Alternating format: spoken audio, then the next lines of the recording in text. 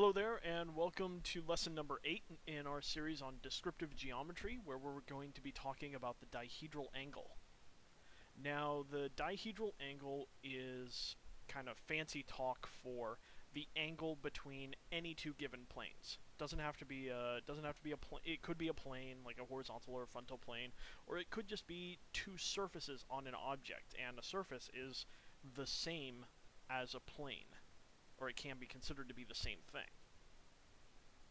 So let's take a look at this block right here in SolidWorks that I've made for us. Um, it's just a little rectangular V block, and what's unusual about this guy is if we look at it from a top view, you can see this cut kind of comes through at an angle like this, which presents us with a problem. How exactly can we tell what the angle between this plane and this plane is? Well, you can't exactly just go to the front view and start measuring anything because the angle is being foreshortened constantly. Um, here, if we measure the angle, it says uh, the computer says the angle between these two lines is 70.38 degrees, and I can tell you for certain that that's not correct. In fact, if I measure actually from this plane to this plane, I should be getting 53 degrees, and that's actually what I've drawn uh, drawn that angle to be. So why is it that when you look down here and you take this angle, you come up with 70 something degrees instead of 53? Well, it's because that angle is being foreshortened. If I rotate this direction, you can see sort of that the angle gets a little bit bigger, and then it gets a little bit smaller and smaller, and it's decreasing until right about there, boom, it hits, and it turn, it's going to turn into a line. So how exactly, there's two ways, there's two ways that we can go about measuring the angle between two given planes. One of them involves the line of intersection, and the other involves getting edge views of stuff. So let's talk about the easy way first.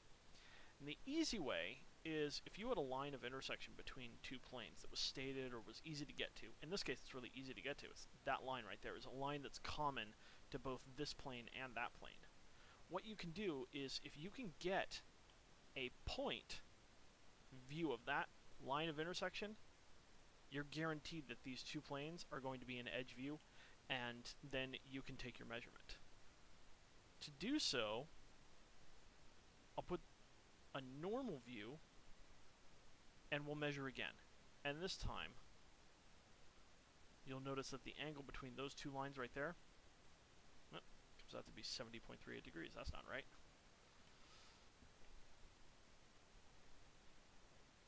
Oh, I see. It's because... I know why. It's because SOLIDWORKS... Um, it's because SOLIDWORKS is trying to project uh, the angle measurement onto a convenient plane, which I don't want it to do right now. Um, but if you were to look at, say, the sketch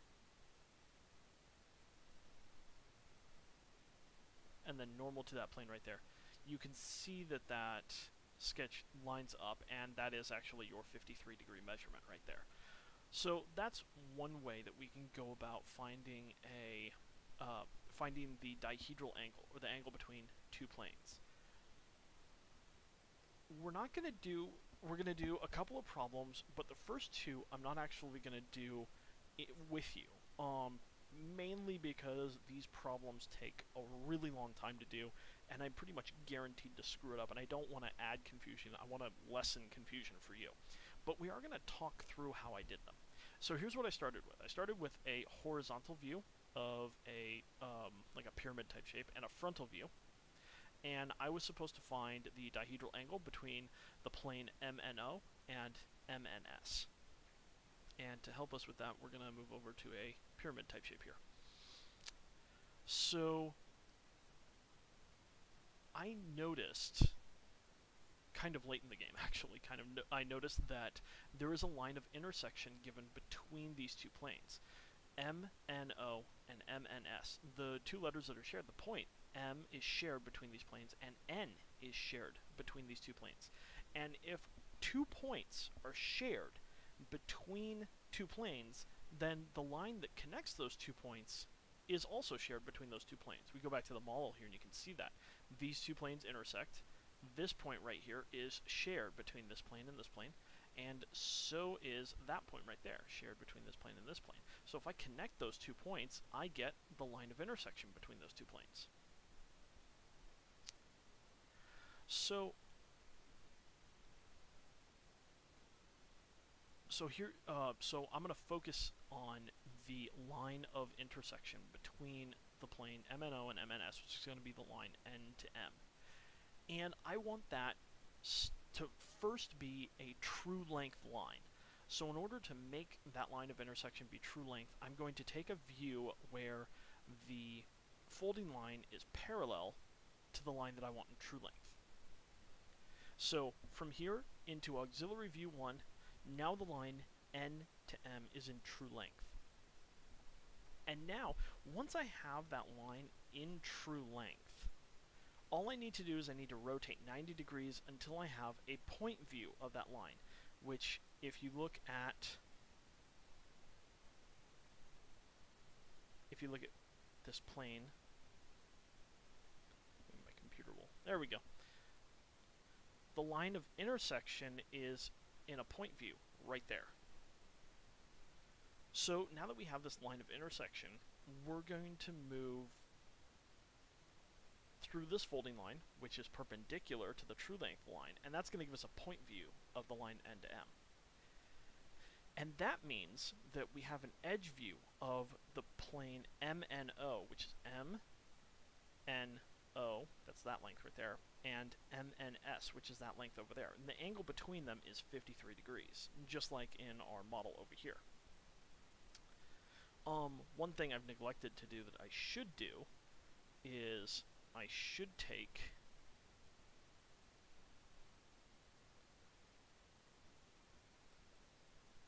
each of those lengths and I should specify that they are edge views of planes. Because if I haven't said that, then my reader has no reason to believe that that's the case. I, am the one who has to specify that for them. So I'll go ahead and fix that for us really quick. I had, a, had an engineering professor once that used to harp on us and tell us that if you uh, if you make quality, then you're always in demand. And these days I can't seem to uh, I can't seem to let little things go like that. I have to produce quality. All right. So that's one way to get the dihedral angle between the planes MNO and MNS. But what if you don't have a line of intersection? Or what if it's inconvenient for you to find? Well, there's a long way for us to go about it too. And that's this solution over here. Again, I started with the same thing. Uh, I started with a frontal view and a horizontal view. And here's how I went about it. It's a little bit hard to follow, so we're going to go through kind of slow. Step one is to make a true length line because I need something to be in edge view. The, the first goal is to get something in true shape. And to get a true shape, I need an edge view of something. So I'm going to manufacture a true length line. Now, initially when I tried to do this problem, before I started doing the video, I picked the line O to S because was, I thought, oh, this is that line O to S. That's parallel to the folding line. So that means that O to S is uh, true length right here. And then I just kind of went, you know, from there. And I, I got myself all turned around. Here's why that doesn't work. The line O to S isn't on either of the planes that I'm trying to isolate. There, there is no MOS or there's no MNS or, um, you know, or NOS. So this line isn't part of either of those planes. So why would I why would I make that true length? I need to make an edge view out of either the plane MNO or MNS. So I picked the uh, I picked MNS. So I went from the point N over to the line MS. And then I went up to connect to MS and then reconnected N to MS. That gives us a true length line from N to MS, and that's a line that exists on the plane NSM, or the MNS in this case. Then I took my projection lines through a view, a folding line that was perpendicular to that true length line. And that brings us over here to auxiliary view 1. Note that MNS, one of the planes that we're looking for, is in edge view now. I don't really care what's going on with the rest of this. I just brought them along for the line, had to do a little bit of a visibility check here. But the important thing that I'm focusing on is MNS is in edge view, which means now that I can take MNS and I can put it in true shape. The way that I do that is I have a folding line here that's parallel to the edge view, and that gives me MNS in true shape. Unfortunately, there's nowhere I can really put that true shape identifier that makes it clear that I'm talking about the plane MNS and not maybe MOS. Um, maybe I could do a subscript or something. That's it doesn't help us regardless. Um, but it still has to be there. Hopefully, we can trust our reader enough to know that if this MNS was an edge view, then I'm talking about MNS over here as being true shape. Now, once you have something in true shape, let, us take a break from let's take a break from our example here and go and go talk about this this guy over here. Pretend for a moment that this plane right here is say MNS, and this plane over here is uh, M what is it MNO. So step one is first to get one of these guys to be in edge view. And if one of these if one of these guys is in edge view, then say like maybe like that right there. And we'll turn this view over here so that here's the plane, that hidden line right there. That's that's MNO. That's the other plane that we need to have an edge view on what we need is we need to manufacture a line that's in true length so that we can force a point view of that true length line. Kind of like how in this previous example I was really harping on the whole um, intersection line between the planes MNO and MNS, and that had to be in true length, and then we've got a point view over here. Well, we don't have a line of intersections, so we got instead a true shape and then we're going to force one of the lines in this view to be true length. now, again, when I was practicing this video, I messed up because I thought that I could take any point over here and just make anything be true length. So I took the line N to S, and I said, great, uh, well that's parallel with this folding line right here, so I'm going to take a view that's parallel with, uh, with N to S, and then I got off track. You have to be really careful at this step right here. This is in a very important juncture when you're trying to find a dihedral angle. The line that's in true length must be a line that's on the other plane that you are trying to capture. So here we've got one plane, MNS is in true shape. So I'm going to forget about MNS. I'm going to focus solely on MNO. So I could have made a line that was, um, I could have made a true length line from, say, N to, you know, from N to O, or I could have somehow manufactured a true length line, much in the same way that I manufactured this true length line from N to this point here, by going back one view and making a parallel line. I could do the same thing over here. I could find a point and I could make a line that's parallel to this folding line and I could have it intersect with one of the edges of the plane MNO and then that line would appear as true length. But when I stopped and thought about it long enough, I realized, oh, I was focusing on the wrong portion of this plane. I was focused on N and S. I should have been focused on M and N over here because M and N, the line M to N, is part of the plane that I'm targeting. Remember, I'm I'm, forget, I'm forgetting about this. I've got this in true shape. I'm done with this. So I'm going to focus solely on the line M to N. And that also is automatically in true length because these two lines are parallel with each other. So I went down and I marked M to N as being in true length and then from there all I had to do was I had to make a folding line that was perpendicular to the true length line M to N. This true shape turns back into an edge view. And this true length over here turns into a point view, giving us the MNO MNS planes, which I marked as being an edge view. And then I was able to take the dihedral angle, which is the angle between those planes, and it's 53 degrees. Notice that both times, both methods, I came up with 53 degrees. So it doesn't actually matter how you solve the problem. Just a little bit more forethought on my part when I was trying to work through these examples before doing the video would have saved me a lot of time because I went and did this thing first and I didn't have to. But I'm glad that I did. So if you don't have a line of intersection, or it's really hard to manufacture a line of intersection, get one of your planes that you're interested in to be true shape. And then go back one view and try to make a line that, number one, is parallel with this folding line. And number two, starts and stops, is contained by the other plane that you're trying to talk about. In this case, that line right there, M to N, is on the plane MNO. That's what I want it to be in true length. And then all you have to do is make another view, another auxiliary view, that is perpendicular to that true length line, and you're guaranteed to get both planes in edge view.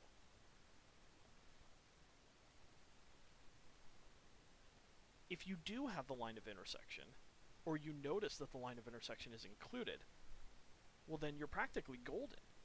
Just get a true length view of that line, and then get a point view of that line, and automatically those planes will appear as edge view, and then you can take the angle between them.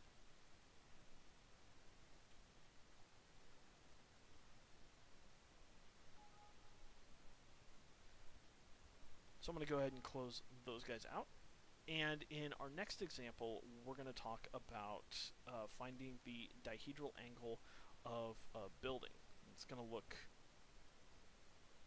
something like this. Okay, so for example number two in this lesson, we're going to be finding the dihedral angle between some panels on a roof, uh, A, B, and C here. Um, in order to do that, we're going to be looking for a true length line, and then we're going to look for a point view of that line. Um, I already I measured earlier uh, the angle between this line and this line right here, and I noticed that they were parallel to each other, which means if we get one of these guys in true length, we're going to have both of them in true length. And then I went ahead and I added a bunch of points around here. So when we draw this house, we're not going to copy the entire house because that's a little bit excessive. There's a lot of points that we'd have to translate, and it would end up making a lot of stuff kind of confusing. So we're only going to focus on the planes A, B, and C. And so that's that's what I've noted around here, around its perimeter here. Okay, so I've already made folding lines of a horizontal view and a frontal view, even though it's not specifically noted. You can kind of, if you were to picture sort of the house, this would kind of look like the front of the house if the front door was right here, and that would make this the top of the house or the horizontal view. So I've already noted and given us our designations for the folding lines, even though they're not specifically called out here in the drawings. This is actually kind of not the greatest example, the book's being a little bit lazy on us. So let's go ahead and we'll get into the construction layer, which already looks like it's the case, and we're going to look for perpendicularity, which is right there and we're going to copy to these four points right here. And then what we'll do is we'll go ahead and we'll do our lengthen and our little circle technique for identifying points, and you'll see why in a minute. Okay, so if this plane right here, this is B, and this line right here represents an edge view of A, and this represents an edge view of C. I've lined this folding line up so that it's parallel with these two lines, which means that these two lines right here will be in true length, and these are the intersections between A and B, and B and C, which is what we're eventually trying to do, is we're trying to get the dihedral angle between A and B, and B and C. Don't think I've shown the actual original question. That's what the original question is asking up here. So here we go. Let's let's go just around the perimeter and we'll take A.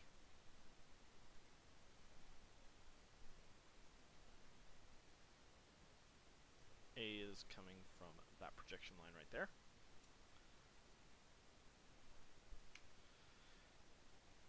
And then let's do B.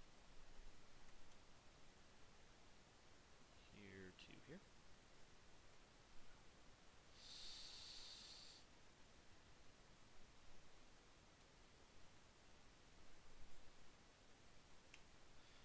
And then let's go to C.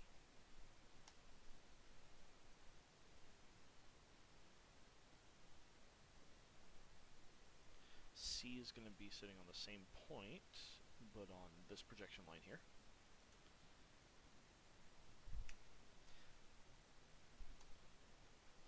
And D will be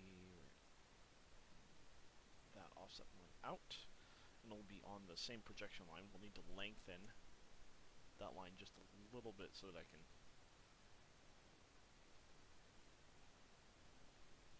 and there we go, there's D. Let's offset for point E.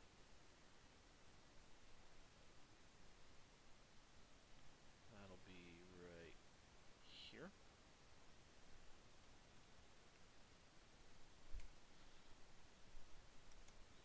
We'll offset for point F.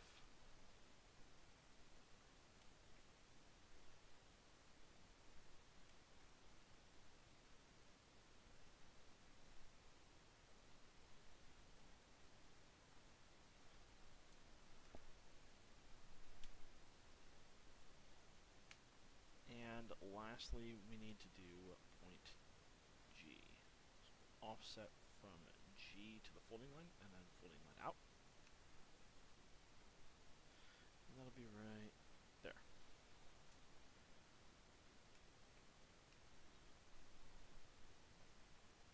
Let's move to the the object layer. We got A, is connected to B, which is connected to C, which is connected to D, which is connected to E, F, and then G, which is connected to A again. Oh, missed that last one right there.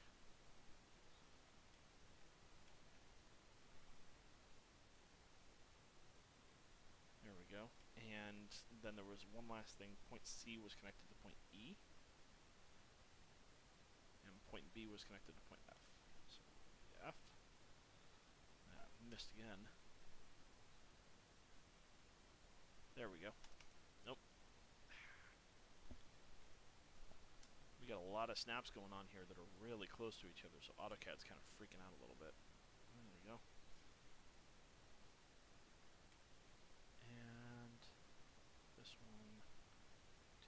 this one. There we go. Perfect.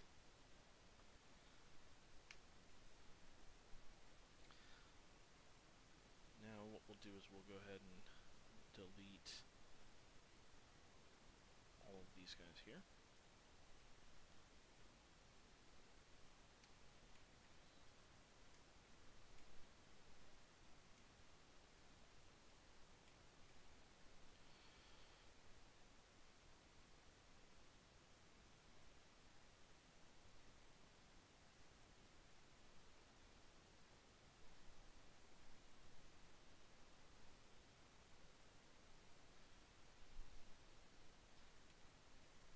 And now we'll start copying some text over.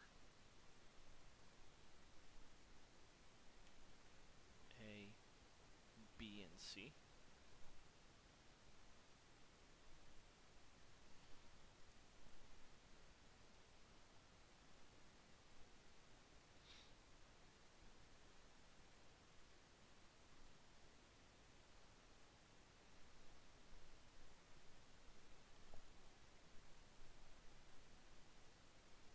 mentioned that these two lines right here we're going to be in true length.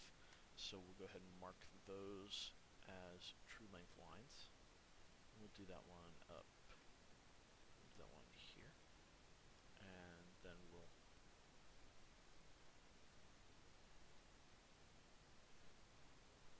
copy another one right there. Perfect.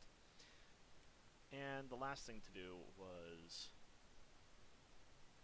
just go around and points all the way.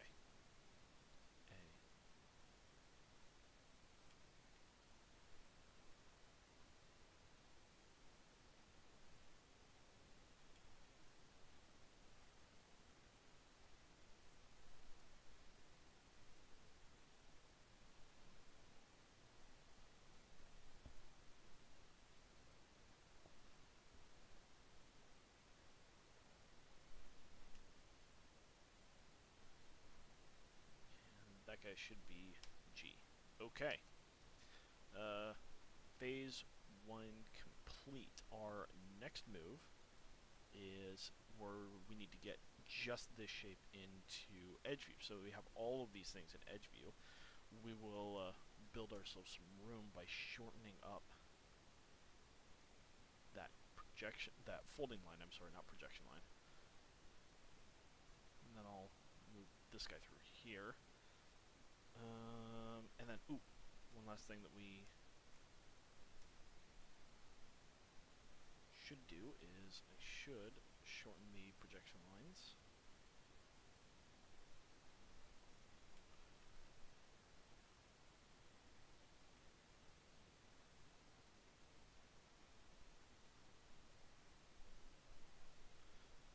And there we go. Okay, we're going to use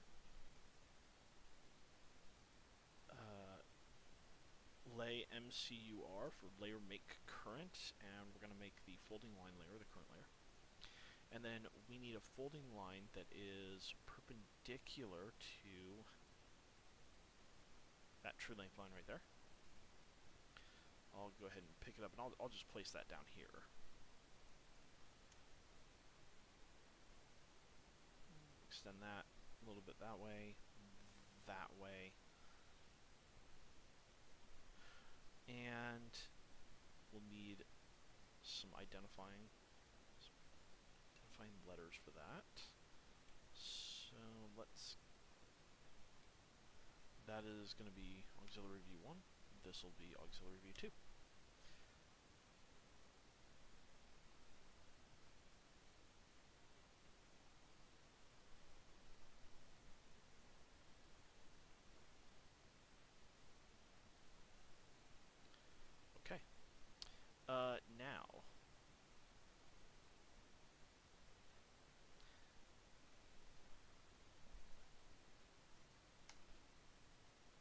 Back to the construction line layer using layer make current, and I'll go ahead and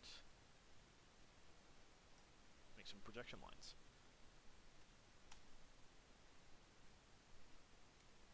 Hopefully this doesn't look like complete chaos, but there's a chance it might.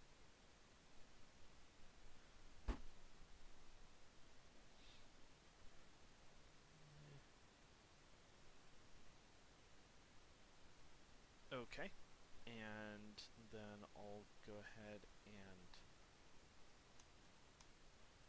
I'll lengthen this one more time. Here we go.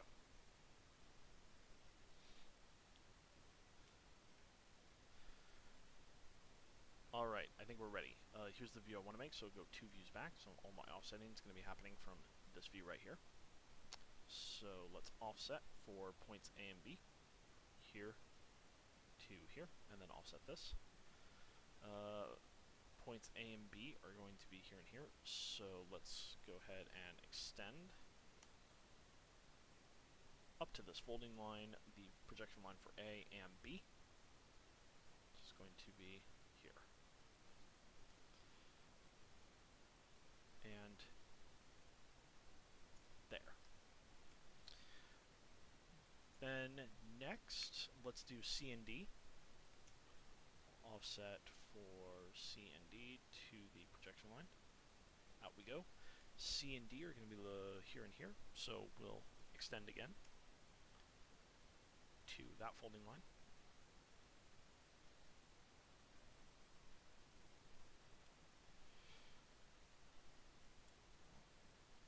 And then another one.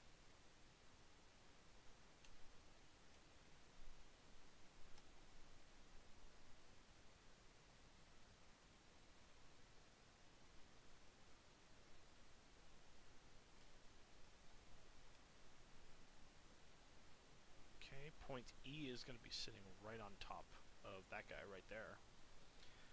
And that makes sense. We should be getting a point view of E and C. And F and B is going to be probably sitting right on top of each other as well. Let's go ahead and confirm that. So the offset from F to the folding line, from here to here, yep, puts us right there. So F and B are going to be sitting on top of each other, but G also is going to be down here. So let's extend to this folding line the projection for G. And there we are.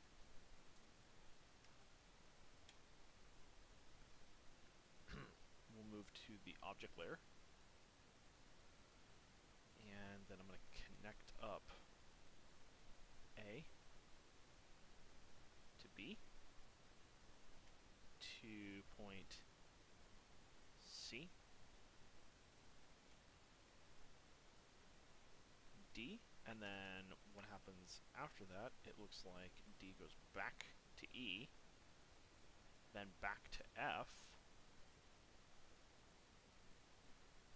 and then F goes to G.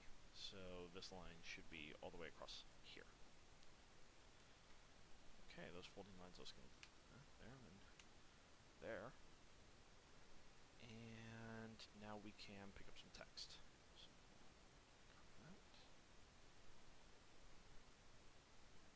Turn off my Osnaps and I'll go.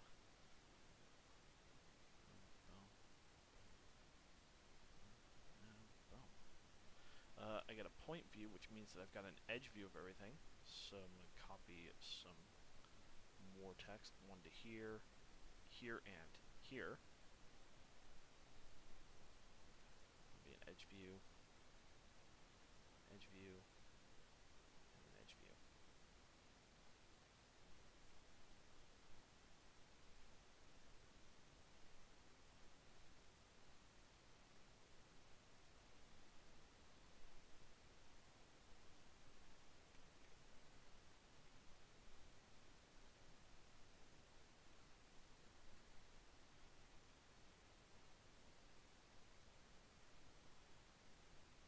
edge view of B, and this will be an edge view of plane numbers or plane letter C.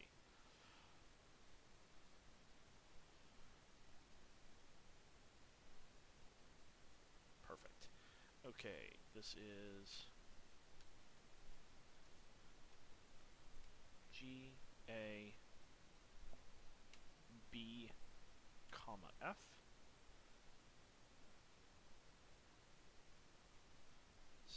Comma E, and D.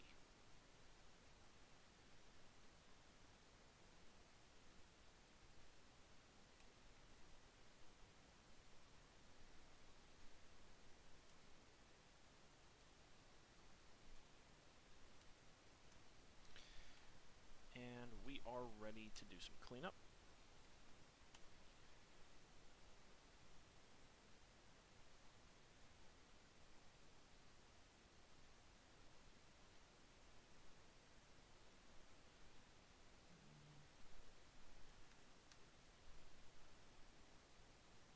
This is the only one that doesn't have an edge or a point, you know, a little pinpoint. So what I'll need to do is I'll need to add a little cross to that guy. One. Actually, let's make it two. That's a little bit easier to see.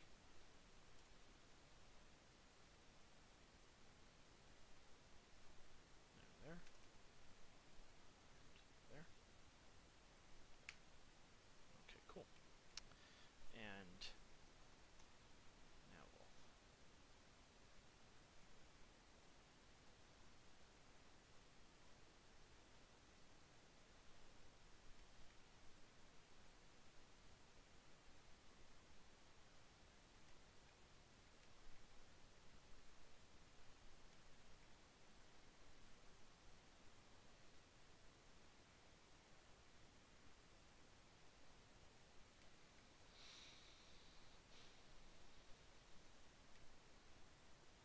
And it looks like we're ready to measure angles. This is one of the few times we're going to be reporting back an actual value.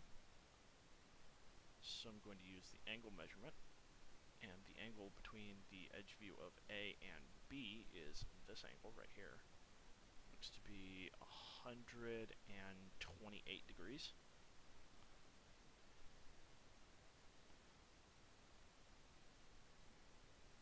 And then we'll report the angle between here and here, which is another 128 degrees.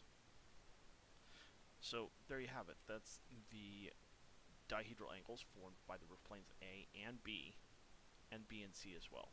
Um, it makes sense that if these these two planes must be parallel, and that's uh, that's shown right here. It makes sense that the dihedral angles should be the same in both cases, and we've demonstrated that right here.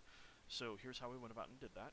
We uh, we did a projection aligning this to uh, one of the intersection lines between B and A or B and C to get a true length line, and then we did another folding line that was perpendicular to one of those true length lines, both of them actually, and that gave us a point view of each of those lines, an edge view of the planes that we were interested in, and then we can measure those angles, and that is the dihedral angle. Again, in the 3D model, that looks something like this. So if I have that plane turned on and I look normal to that plane, that's where I can measure that dihedral angle. And that's going to end lesson number 8. Alright everybody, I'll see you next time.